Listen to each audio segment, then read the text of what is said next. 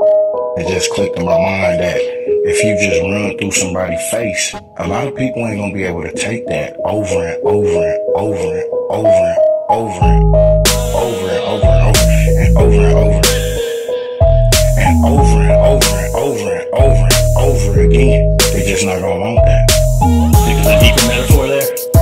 Run through a motherfucker.